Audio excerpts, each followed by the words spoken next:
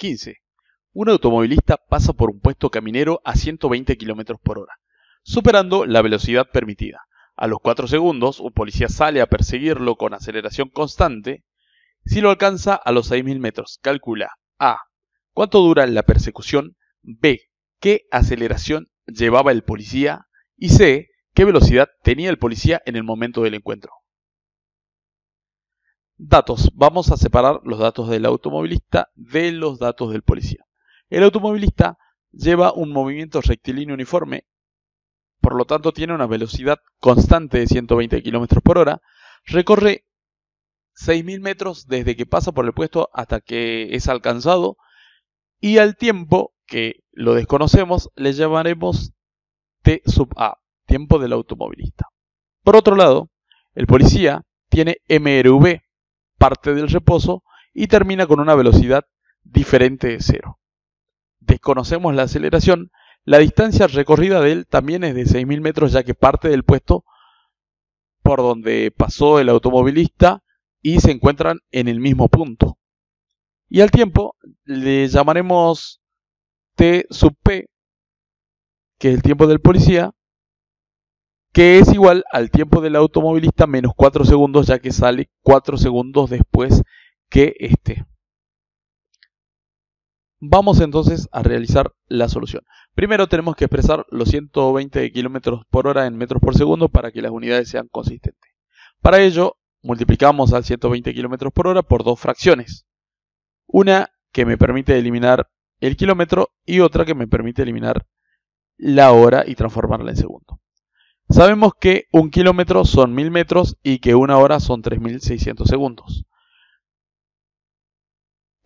Armamos la fracción de manera tal de que el kilómetro quede cruzado con el kilómetro y la hora quede cruzada con la hora. Entonces kilómetro con kilómetro se va, hora con hora también se va y me queda metro sobre segundo. Entonces hacemos 120 por 1000 y ese resultado dividido 3600. También podemos decir este 0 se va con este y este se va con este. Por lo tanto, hacemos 120 por 10 que es 1200 y ese resultado dividido 36. En fracciones, el resultado de esta operación es 10 tercios metros por segundo. Si hacemos la división, nos queda 33,3 periódicos metros por segundo. Cualquiera de las dos opciones está bien, solo que utilizar la fracción para hacer el cálculo me va a ayudar a tener resultados más precisos. Vamos a aplicar la fórmula del MRU para el automovilista. Entonces, distancia igual a velocidad por tiempo. Y a esto deberíamos agregarle la posición inicial. Pero como suponemos al puesto como nuestra referencia, vamos a considerar que en el puesto por el que pasa el automovilista es nuestra referencia, entonces le asignamos el valor 0 y 6000 el punto del encuentro, entonces nos queda la fórmula simple ya que el punto de referencia coincide con el punto inicial del estudio. Sustituimos la distancia por 6000, la velocidad por 33,3 metros por segundo y T sub A queda como incógnita. Entonces para despejar mandamos la velocidad dividiendo hacia la izquierda, se simplifica metro con metro y nos queda segundo, hacemos la división y nos da 180 segundos. Recordemos de que si utilizamos la fracción que era 100 sobre 3, nos dará 180 justos. Entonces, 180 segundos es el tiempo que transcurre desde que el automovilista pasa por el puesto hasta que es alcanzado a los 6.000 metros.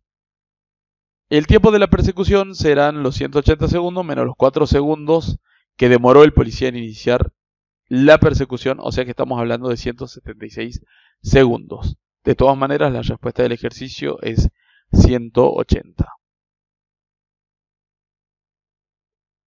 Ahora lo que queremos averiguar es la aceleración del policía hasta alcanzar al automovilista.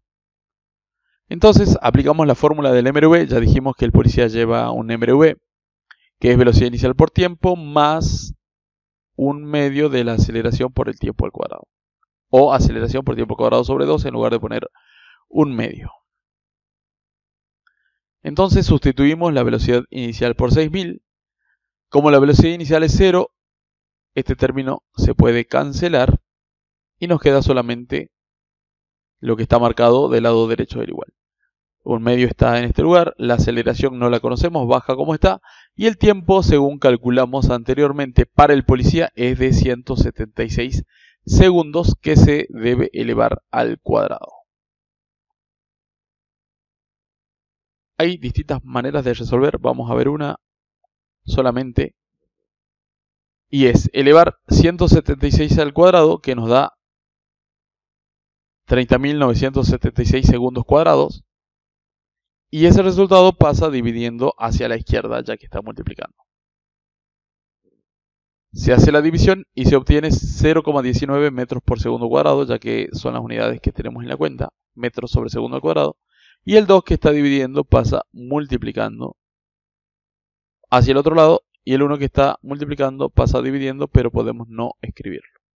Hacemos 2 por 0,19 y obtenemos 0,38 metros por segundo al cuadrado. Otra de las opciones hubiese sido multiplicar un medio por el resultado de 176 al cuadrado y al resultado mandarlo dividiendo abajo de la distancia. El resultado hubiese sido el mismo. Vamos a responder a la última pregunta en la que queremos saber cuál es la velocidad final de el policía. La velocidad final para el MRV es velocidad inicial más aceleración por tiempo. Como sabemos que la velocidad inicial es 0, Sustituimos BI por 0. La aceleración la calculamos en el inciso anterior. Y el tiempo es 176 segundos para el policía. Separamos en términos, hacemos la cuenta y obtenemos la velocidad en metros por segundo que es 68,2. El primer término ya dijimos que se anulaba. Ahora analicemos las unidades en el otro término. El cuadrado se va con el segundo y así es como nos queda metros por segundos en la respuesta de la velocidad final.